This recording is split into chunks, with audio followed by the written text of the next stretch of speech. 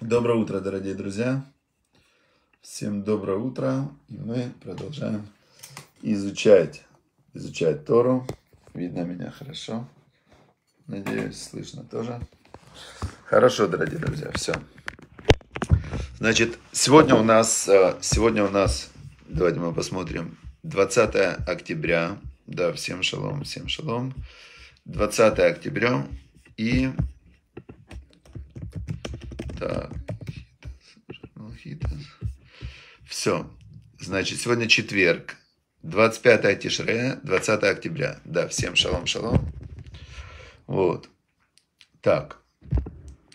Значит, а, сегодня мы изучаем, продолжаем изучать книгу Берешит. И, значит, нам нужно успеть сегодня пятница, получается. Значит, мы сейчас быстренько пройдемся по главе, чтобы успеть ее дочитать. Завтра, сегодня четверг, завтра пятница, и завтра мы тогда больше пройдем.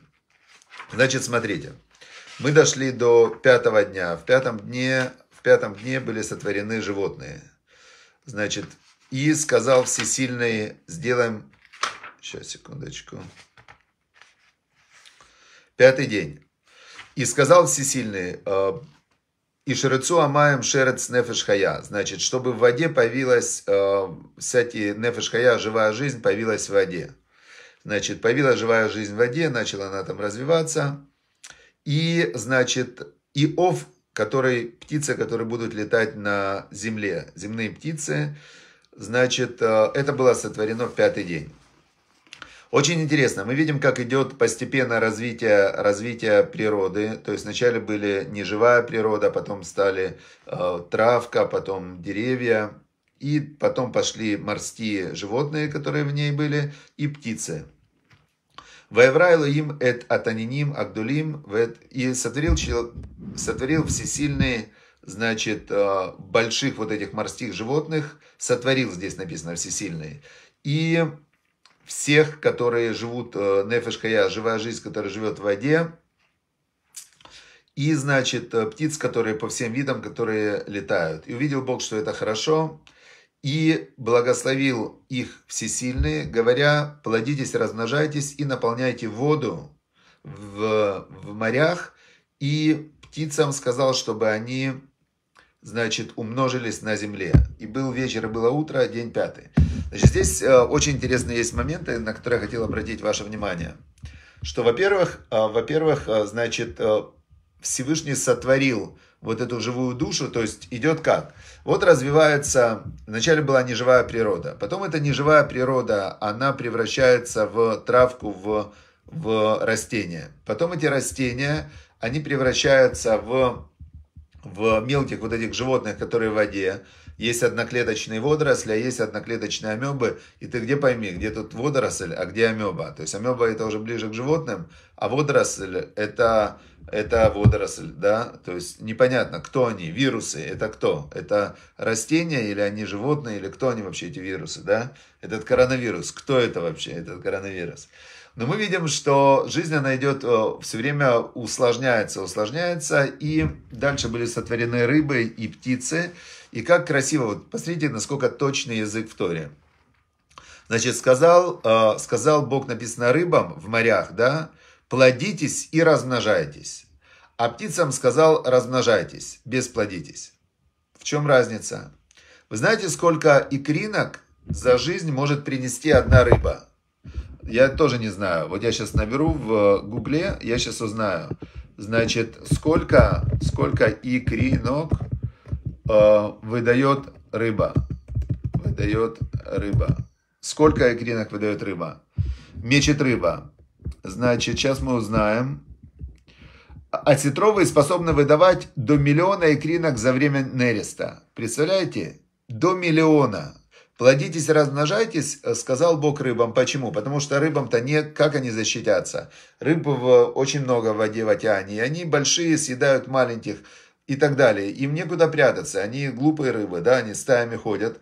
Но их очень много. Бог им сказал, плодитесь, размножайтесь, чтобы вас было очень много. Миллионы гринок дает осетровый за один нерест. Представляете? Удивительно. Теперь, значит, э, теперь дальше. Дальше. Ну ладно, не будем вдаваться. Плодовитость рыб различна. Значит, самка карпа, например, откладывает до 3 миллионов икринок. Представьте, если бы человек рожал 3 миллиона детей, что было бы вообще? Это просто было бы 3 миллиона икринок, а сама всего 500 штук. Ну, даже если бы человек как сом был, тоже нормально, 500 штук за один раз. Значит, э, у карпа 97% мальков не доживают до трехлетнего возраста, причем 93% икринок погибают в течение первых 70 суток после выметывания. Их съедают другие рыбы, земноводные, водоплавающие птицы, их сносят течением. Представляете? Написано в Торе, что Бог сказал тем, кто рыбам, которые в воде, Он сказал, плодитесь и размножайтесь. То есть удвоенное благословение, чтобы у них было очень, они были плодовитые. А рыбам что, а птицам что он сказал? Он сказал птицам только, значит, э, птицам он сказал, умножайтесь на земле. Значит, птицы несут там несколько яиц, тоже нормально они несут. Там курица каждый день по яйцу, по-моему, несет, да, если я, если я правильно помню, то курица каждый день по яйцу несет. Тоже, если бы люди такие плодовитые были. И сказал всесильный, значит, дальше Пятый день закончился, сказал всесильный, чтобы выпустила земля нефеш лимино, чтобы земля выпустила, вначале идет нефеш хая, чтобы были дикие животные, а потом БМА, домашние животные, значит, чтобы они размножались на земле по видам. И стало так. И сделал э, всесильный, значит, животных земли по, по их видам, и БМОТ это домашних животных по их видам. И они начали размножаться на земле по видам, значит, и увидел Всесильный, что это хорошо. Здесь мы тоже смотрим, а, интересную вещь сегодня увидел у Малбима, что если мы возьмем а, неживую природу, да, то она твердая, она очень твердая. Камни твердые, там, ну то есть все неживое твердое. Дальше трава, деревья, то есть растительность. Деревья, они более твердые, менее твердые, чем, чем камни. Дальше. Потом мы возьмем, если... Но они неподвижные. Потом, если мы возьмем... После растительности идут морские животные, птички, морские животные, разные рыбы и так далее. Они более подвижные и они более мягкие, чем, чем растения. Теперь, если мы возьмем, если мы возьмем дальше животных, да, то они еще более мягкие, еще более подвижные. И дальше человек. Человек самый мягкий. То есть, если посмотреть человека, он настолько вообще, ни шкура у него нормальная, ни, ни шерсти нормальная. Посмотрите на человека. Он, э, я шел по улице, вижу кошка, вот вертикальная стена где-то метра три. И она за два прыжка запрыгнула на эту стену. Человек не может так. Человек не может. Муравей, маленький муравей тянет просто такую на себе, бревно он тянет на себе. Человек не может так. То есть человек, он самое слабое физически, но самое сильное духовное существо интеллектуально. Получается, что, что вот так вот природа, чем она более развита духовно, тем она более слабая. Это Малвин это заметил. И сказал Всесильный, сделаем человека. Все. И тут мы пришли к тому, что на шестой день Всесильный сказал, и в Торе написано очень интересно – Написано на асе, во множественном числе. Сделаем человека. Бецальмену по образу нашему. Бедмутену, похожему на нас. Ваерду бедактана ям, и они будут властвовать над, и над морем, и над птицами, и над животными домашними, и над всей землей, значит, будет властвовать человек. Задают вопрос огромный. Как, э, как это Кому Бог сказал сотворим человека? Что за множественное число? Бог один, Он един. Что значит сотворим человека? И вот э, есть множество ответов, объяснений разных, но я вам сейчас сведу все в самое простое и понятное. Бог вначале сотворил э, вот то, что называется всесильный, сотворил мироздание. Вселенная, природа, вот эти все э, минералы, таблица Менделеева, там потом растения, животные разные, все, все, все, все вот это он сотворил, то, что называется в нижнем мире. Потом он сотворил все, что в духовном мире, это тоже огромная-огромная система, многоуровневая, сферот, какие-то там, то, что мы называем ангелы, силы и так далее. То есть все это тоже, это все проявление Всевышнего, все мироздание это Всевышний. И когда Всевышний сказал, сотворим человека по образу и подобию, то есть человек это квинтэссенция всего мироздания, соединение духовного и материального. В человеке соединено и духовное, и материальное. Как Всевышний, он, он это духовный мир, и он же сотворил, и он же материальный мир. Также человек состоит из материального, вертикально ходящая лужа, из интеллектуального, это тоже подобие Всевышнему, Творец, Создатель, свобода выбора. И из духовного, то, что духовно есть в человеке, душа, которую мы сейчас пока даже не в состоянии постигнуть, величие своей души вообще, что такое душа, духовный мир, мы об этом можем рассуждать, но все наши рассуждения о духовном, они похожи на рассуждения котенка. Сидят два котенка, рассматривают э, такой самолет какой-то, да, Боинг, и они обсуждают Боинг, устройство Боинга. Они не могут обсуждать устройство Боинга, они просто могут смотреть на Боинг, и как-то они его воспринимают, но их восприятие э, устройства самолета, оно, конечно, не полное, они не могут понять устройство самолета, котята. Так мы точно так же, когда мы говорим о духовных мирах, о Боге, то наша, как бы, вот этот вот инструментарий, которым мы пользуемся, мы все равно вынуждены использовать и описывать Всевышнего и духовный мир объектами материальными, с помощью объектов материальных, сравнения материальных, слов материальных.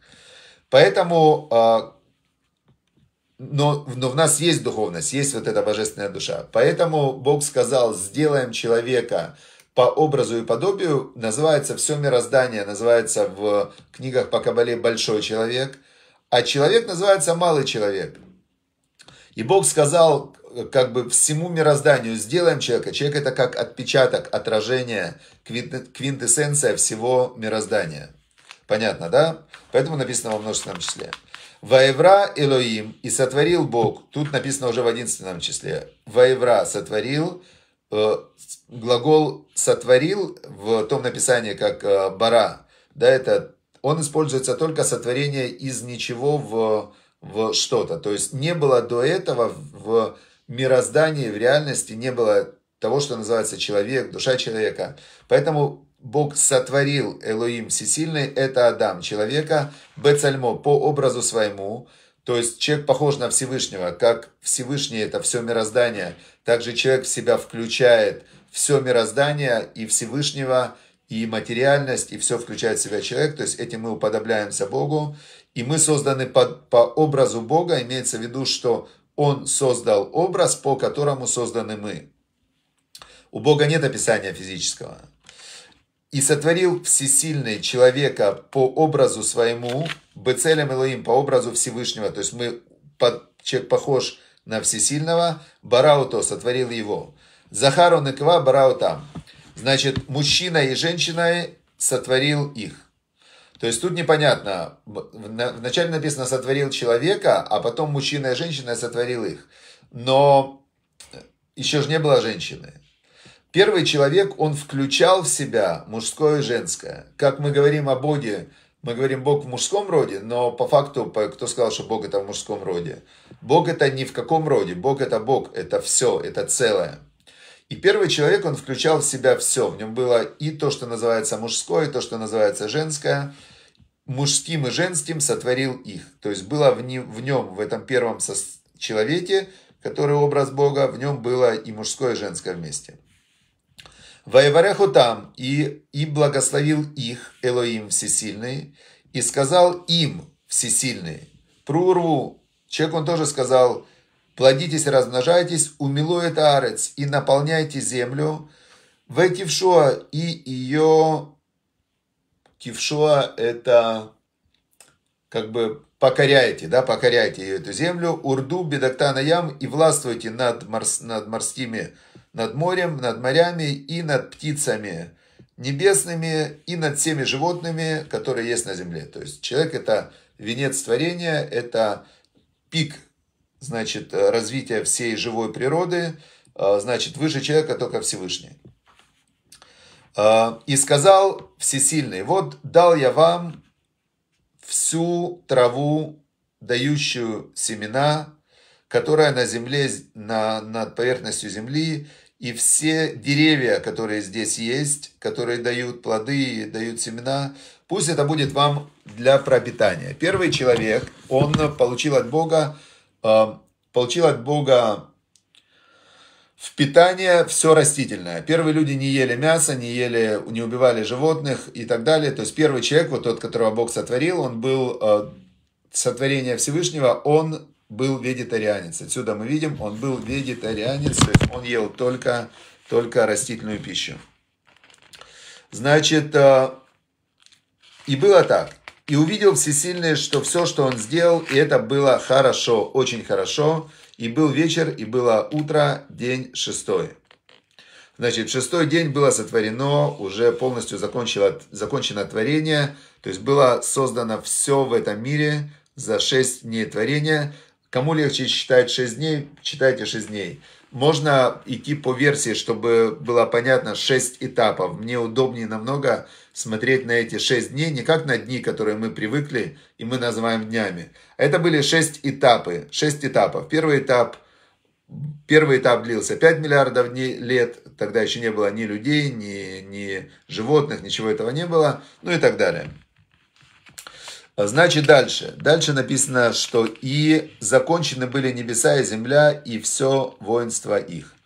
То есть здесь говорится о том, что Всевышний создал э, духовные миры, они намного больше, чем миры материальные. То есть то, что мы видим в этом мире, знаете, сколько в мире видов животных? Давайте посмотрим. Значит, сколько видов животных? Сколько видов животных? животных на Земле. В настоящее время учеными описано более миллион шестьсот тысяч видов животных. Миллион шестьсот тысяч видов животных. Представляете? Теперь, а в духовных мирах, вот это все воинство их, все воинство их, это еще больше. То есть там духовные миры, они состоят из множества, множества миров, и там э, есть то, что мы привыкли называть ангелы, есть разные сущности, которые, которые в, в этих мирах. Вайхалю лаим байом ашви и закончил всесильный в день седьмой работу, которую делал. Значит, Ваешбот байом ашви и остановился в день седьмой от всей работы, которую делал. И благословил всесильный день седьмой и осветил его, выделил его из всех дней, его шаббат, потому что в нем остановка шаббат, миколь млахто от всей работы его – которую сотворял Всесильный, чтобы делать. Каждую субботу, поэтому мы останавливаемся и в пятницу заходом солнца мы произносим вот этот отрывок истории, свидетельствуя о том, что мы признаем, что Бог сотворил мироздание и сотворил человека. И когда Бог выделил этот седьмой день и остановился от всей производительной работы, то мы то же самое делаем каждую субботу.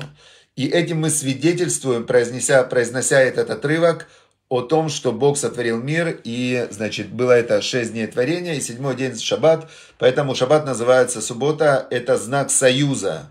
И когда мы произносим этот отрывок с стаканом вина, стоя, произносится этот отрывок, обязательно стоя, это как свидетели в суде. Мы свидетельствуем о том, что э, дело было так.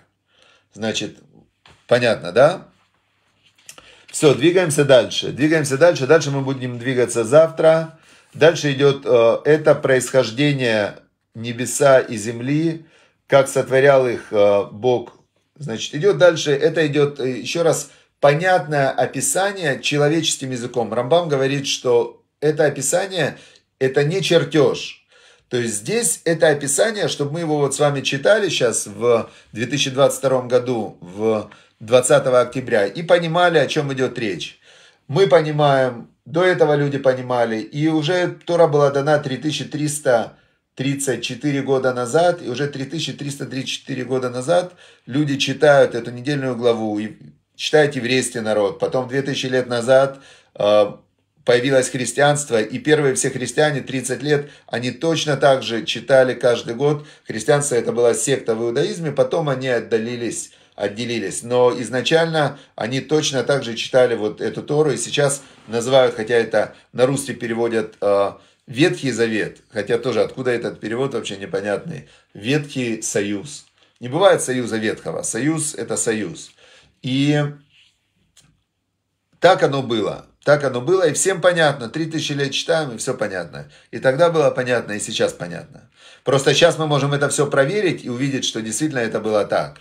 А 3000 лет э, в это верили. Просто верили, что это было так, потому что человек без интернета, он не мог проверить. И он просто сидел, смотрел на небо и думал, да, вот это было сотворено звезды в четвертый день, да. А что, правда, что там, например, думал человек про, про животных, которые были птицы. Ну, то есть он, он в это верил, он не мог это проверить. Я думаю, что еще 500 лет назад, 500 лет назад только Америку открыли. 500 лет назад Колумб открыл Америку, это просто, ну, всего 500 лет назад. Понимаете? А до этого люди вообще не могли ничего проверить. Хорошо. Значит, удачи, успехов мы узнаем чуть позже, э, после Ноаха. В главе Ноах мы узнаем, с какого момента Бог разрешил есть мясо. И почему он разрешил есть мясо, это написано в главе Ноах. Следующая будет глава. Значит, там э, как раз нам откроется, почему люди начали после потопа есть мясо. До потопа мясо не ели. Все, это факт. Вот написано здесь, что Бог дал людям вначале всю растительность пищу, и животных он пищу не дал. После потопа Бог сказал, что можете есть животных тоже. Все, удачи, успехов. До завтра, чтобы Бог услышал ваши молитвы, чтобы в заслугу изучения Торы была связь э, каждого из нас сильнее со Всевышним, чтобы мы слышали и чувствовали Его голос, Его свет, и чтобы была у нас связь, устанавливалась в две стороны. То есть от него мы получаем свет Торы и знания, и заповеди, а от нас идет выполнение заповедей и молитва. И когда эта связь хорошая, чтобы Всевышний выполнил ваши молитвы для вашего блага, и чтобы была рифа шлема Моше бен Ирина, а, чтобы была рифа шлема Рита бат Бася, и чтобы была рифа шлема всем хорошим добрым людям, которые нуждаются в выздоровлении, и чтобы они почувствовали, поняли, что это выздоровление от Бога, и, и э, Бога за это благодарили. Все, удачи, успехов, счастливо. Ну и, конечно, чтобы уже закончилась эта война, которая просто преступная война, которую надо остановить немедленно, которая раскручивается и уже угрожает всему вообще человечеству. Это страшно, когда, когда один, можно сказать, злодей берет и просто переворачивает весь мир, война вообще, которая близится к ядерной, это страшно. Не один, на самом деле это не один, вся система работает, и нельзя сказать, что кто-то один а, ответственный, на всех нет ответственности. Ответственность на всем мироздании, на каждом из нас, поэтому давайте мы что можем делать? Мы молимся, чтобы война остановилась как можно быстрее.